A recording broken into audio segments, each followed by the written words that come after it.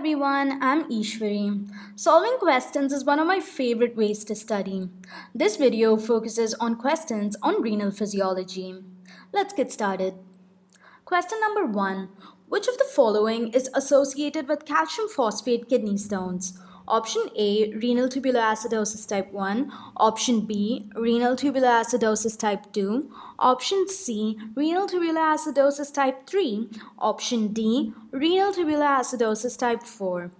The answer to this question is RTA type 1.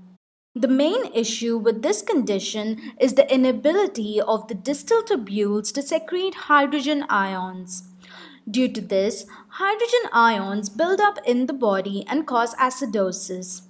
Due to the lack of hydrogen ions in the urine, the pH increases.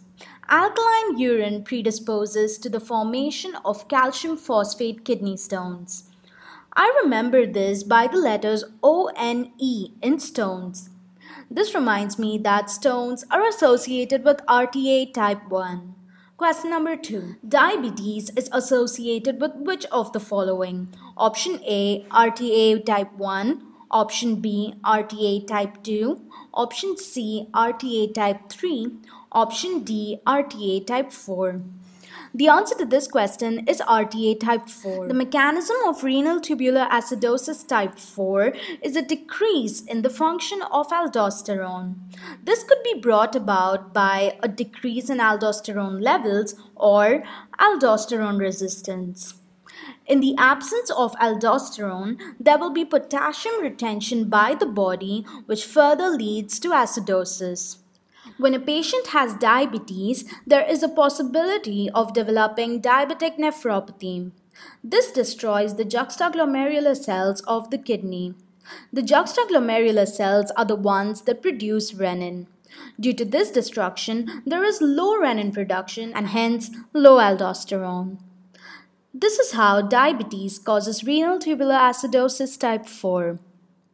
Question number three. What is the most likely serum chloride levels in a patient with renal tubular acidosis?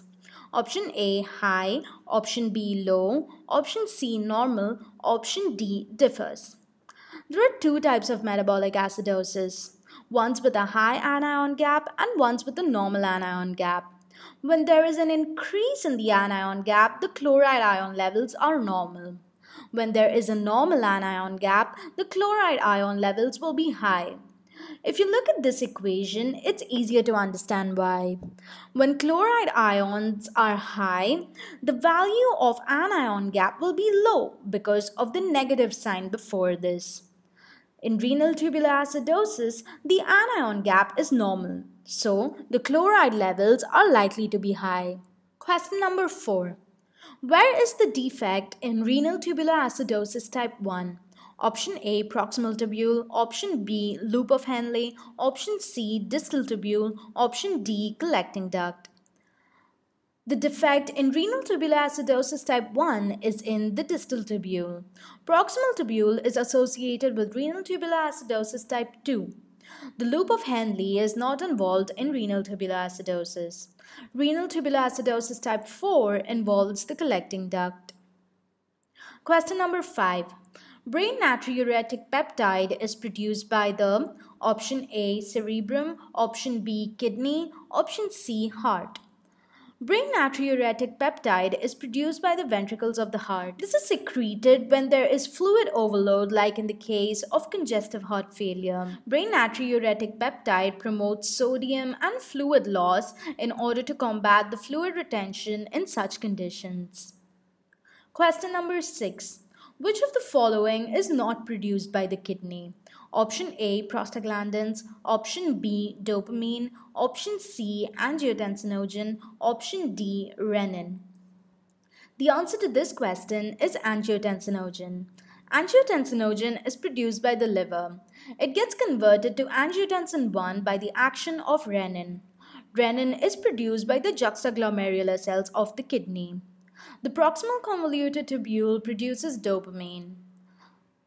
The kidney also produces prostaglandins. Question number 7. Sjogren's syndrome causes which type of renal tubular acidosis?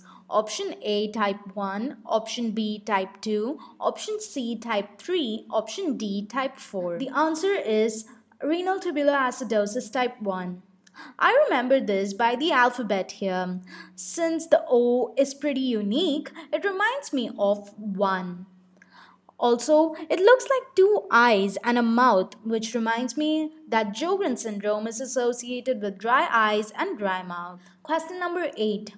Why is the pH of urine not high in type 2 renal tubular acidosis although there is impaired absorption of the bicarbonate ion? In renal tubular acidosis type 2, there is a defect in the absorption of bicarbonate ions by the proximal tubule. So the urine's pH is supposed to be high. But the alpha intercalated cells of the collecting duct acidify the urine. This mm-hmm. makes up for the excessive bicarbonate and the pH of the urine is not too high. I hope you guys liked this video. If you want me to explain any of these in detail, please let me know in the comments. I will make a video about it. If this was helpful, please give it a thumbs up to show me your support. Thank you.